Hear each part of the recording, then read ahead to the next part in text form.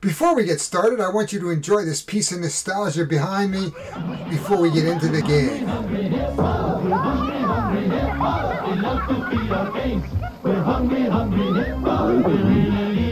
It's Hungry Hungry Hippos. First to gobble up the most marbles wins. Well, doesn't that game bring back memories? Hungry Hippo and the marbles flying around and the kids screaming in the house. Uh, my kids had that game. My name is Harry Jacobs and I am the North of 60 Gamer and welcome. And today we have the opportunity to bring to you a brand new Kickstarter which is on the campaign trail as of today, October 20th. So please, let's go down and have a look at Hamsters versus Hippos. Okay, we're down at the table and we're looking at Hamsters versus Hippos. Uh, first, let me say that I did get this copy from free from uh, Tin Robot Games to look at. I did not ask for payment, and therefore what you're going to hear is my opinion and what I think about the game. And so far, though, let's take a look. Uh, everything reads well. It looks like a family game. It looks like a fun game that you can play with your grandchildren's. Uh, it says uh, one to six players. It says 14 and up, but inside there's a bit of a difference 14 and up and 8 plus. So this is a prototype. I'm going to go along with the uh, rules, having looked at the rules already. I would say it's 8 and up, not 14 plus. It's a simple tile laying game where you're going to set up your tiles, you're going to put your lotuses down, you're going to follow what is on the tiles and collect as many points, and it's a push your luck game, and you're going to pull your hamster off before you lose all your points, because if you hit a hippo, you're going to lose all your points. And you can see the rules are quite light. I think as a parent or a grandparent, I would be able to teach this to my uh, grandkids, and they would love it. Or, and then here's your two boards. You have two to four or five to six. There's also a solo play as well. I think what we'll cover it is probably from a two-player or a four-player perspective, but we might look at the solo. Each tile is slightly different. There's uh, a number of tiles. Each have icons on it, and we will show you this a little closer when we uh, get into the game. But what's going to happen is these tiles are going to be laid upside down, and here they are here. And on the flip side, there's different things, like there's this resting hamster, and it says, peek, peek under an adjacent card for free. So you could, if you were like this, you could go, hey, what's on this one? Oh, another sleeping one. Um, you have hamsters in water, hamsters running across, which is return one point from what you have collected this round back to the general supply. So it's like losing a point. And if you come across these lotuses, you'll uh, actually gain, in this case, two points. So you're going to gain points through the game with these nice little tiles. There's lots of tiles. So uh, you're going to have a varied replay. Uh, and there's also, you add a number of hippos to your tiles and you're going to get laid out. If you hit a hippo, he eats your hamster, which is unfortunate. But as far as I know, hippos are really vegetarian. So why would they would eat a hamster? Got me. These are your lotuses. So these are they fit on top of your lilies, and you'll take them for points. Some of them, as you can see in the rules, that they get preset, and there's a little bowl to hold them. All in all, this is a great little prototype. I looks like a great little family game uh, or a fun filler if you're you know in a, a gaming cafe this looks like a great little family filler. Looks like if i was at my club i would i'd certainly bring this out while we're waiting for somebody to set up something bigger just very quick there's a lot of people who like these lightweight games and they're a lot of fun. But this is hamsters versus i said hamsters and hippos this is hamsters versus hippos. So i've laid out the components that we're going to be playing with for a round. We are going to simulate a single round of play of hamsters versus hippos. We are going to play our three uh, players. And as you can see, we have the blue, the red, and the yellow player. I have taken two of the four hippos out of this stack of tiles. What we're going to do is we're going to mix up the tiles and we're going to set up a three-player game which is played on a five by five grid with a number of single point lily pads in the middle. So I'm going to set that up and, and then we'll be right back. And to do that, what I'm going to do is I'm going to take all the tiles and I'm going to put them into the box top.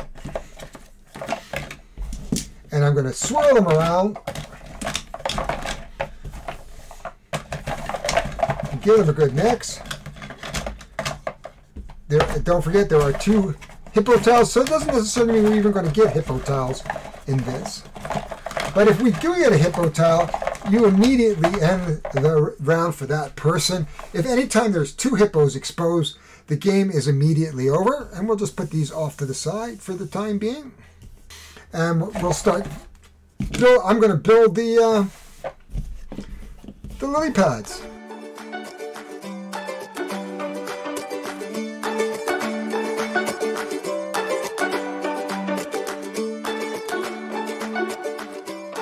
Trying to get a really good mix here of, of tiles, though they were pretty mixed up the last practice round I did, so we should be okay. There's no guarantee there's a hippo in these. That is one thing you never know is what is lurking, lurking and we need one more row here. Mm, I like tile laying games myself. I, I, think there's a certain allure to them a certain simplicity that makes uh, things easier to play and easier to understand. And we're just going to put the lily pads out. Whoops, going a little crazy here. They go in the center, just like this. And one more. And that is the uh, setup for the game. It's as simple as that. You saw it right here. Uh, took less than a minute or two to set this up. And what's going to happen is, what we're going to do is we're going to just close our eyes and let one of these drop. And it's the blue player. So the blue player is going to go first, then red, and then the yellow. So, because we're going to simulate this, so it'll be blue, yellow, red. So we'll do this. Blue, yellow, red, just so we know that the blue player is going first. Now, the blue player, regardless of the orientation of the table, you, you must enter on a, a square that is on the perimeter and so you can go anywhere you want along that perimeter. You can take two actions. So the two actions that you're generally going to take is a move and a move. And you're going to move, you're going to turn over the tile, then you're going to do the action, and then you're going to move over, uh, try, move another tile. So you're basically going to get two moves. Unless you decide to take your uh, hamster off because you want to save those points. So you don't actually get the points until you actually pull your hamster off. You just collect them in your pouch and then you go back to your starting lily pad. So blue is ready to go. Blue is going to start in the corner here and it's going to go blue, yellow, red. The blue hamster pulls this over and there is a yellow lily pad here. He can take up to two movements uh, or he can pull it off. So he can move, move, or move, pull off, or just pull off. And then he's going to move into the center closer so he can pull that lily out. He gets the lily pad off of there, and he gets a hippo.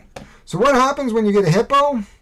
You are out, and he loses his mark. And that is unfortunate. Right off the bat, the blue player is gone. Yellow and red take a, a sigh, a collective sigh of relief because they know at least there's one more out here and a good chance that we may not get it. He says, you know what, I'm going to start right here at the bottom and the first thing he does is get a lily. And then he's going to move here. He picks up that lily. Now you don't actually put the lilies on your player board. Now that's a splash when you, can see him in the water. That's like him going, oh, I slipped off. I'm done. Red says, boy, whew, he needs a piece of this action.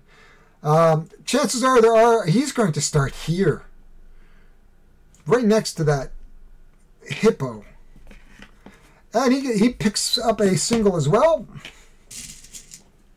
And he's going to move closer to the center because he thinks, ah, there's no hippo here because the hippo's in the other space. He picks up two. We come back to yellow. Uh, yellow, yellow thinks he's going to go here. He thinks maybe I can see if I can block him off. Aha! So yellow has a peek and if you look at him, he's laying down, peeking under the lily pad. So he's here. He's going to take this for his yellow. And he says, ah, let me peek over here.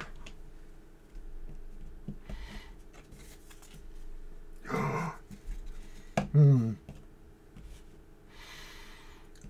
And he says, Yes, I'm going to go over here.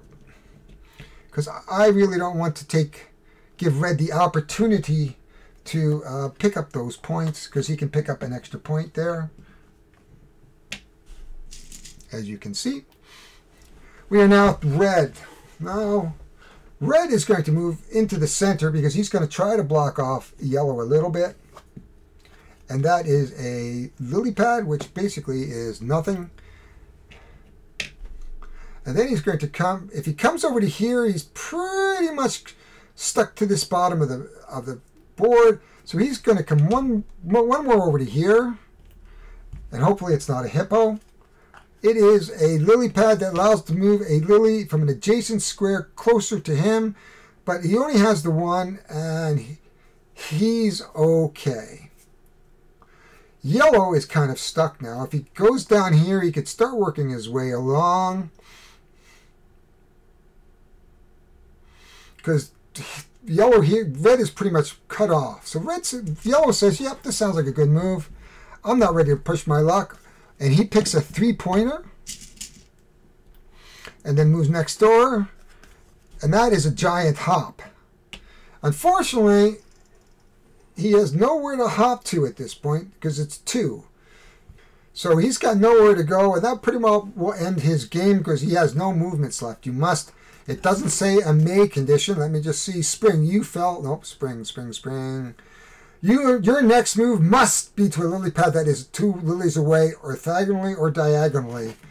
One, two, one, two, and he doesn't. So his turn is done. So basically, yellow is out of the game. Red is going to come over to here. Now he can move a lily pad from an adjacent, but there's nothing adjacent to him. And he's going to come down here, and that is just a lily pad. Yellow is done. One, two, three, four, five, eight points. Now the question for the red becomes, does he push his luck? Or does he stop? One, two, three, four, five, six, seven. He has seven. The only way to go is here. So he says, I'm pushing my luck. He can peek. This is good. Up. So he goes here. Ends his turn. His next turn, he can spring. He's got nowhere to go. He is done. He pulls over seven. And that is the end of the round. What happens at the end of the round basically is that we will put our tiles back into the box. We will mix them up. We will add another hippo. We will set up another 5x5 grid with the lilies in the middle, and we'll do exactly the same thing. Hopefully blue won't have as bad a luck as he did here. And that is how you play hamsters versus hippos. So let's go up uh, for some final thoughts. So some final thoughts. Hamsters versus Hippos, Tin Robot Games, 1 to 6 players, 8 plus, and 15 to 30 minutes. I think that's a good estimate. You will play that over four rounds.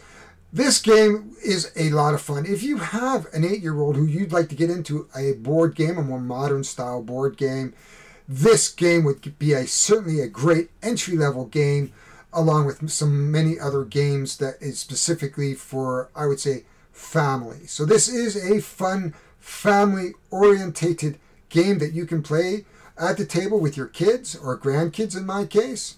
Certainly this would be a game that I would consider giving to my grandkids uh, at Christmas time or for a birthday. I have been trying to give them games uh, on their on their birthdays and Christmas times to try to sort of give them an interest of, of some different games that you can play other than some of the traditional games they played as a kid and they certainly like those games like Uno and uh, Sorry are their two favorite games, uh, mainly because it, there's a lot of take that and they really like to do that.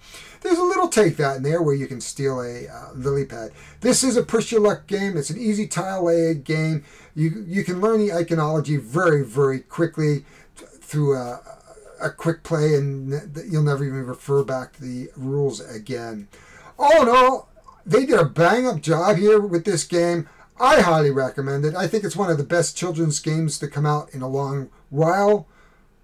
I think it's one of the best family games to come out in a long while with a market that is saturated towards the sort of adults and tons of stuff in a box. This gives you a great game in a small footprint box. Take it on a trip, go camping with it, take it to grandpa and make him play it.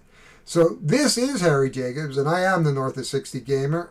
I thank you for watching, if you like what you see, please like, subscribe, and hit the notifications. I really would love to have you as part of my community. I appreciate you being here today, and I hope you really enjoyed this game as much as I do. Please go out and back it on Kickstarter. I will put the link down in the comments and support this uh, game. There's a lot of independent gamers who are being overshadowed by some big games. Pa- don't pass up on this game uh, because the price I imagine is because the price is right, and I will put the price down uh, below here uh, when I so that you can see what the price is. So thank you very much, and we will talk to you later. Please go out and enjoy a nice gaming day.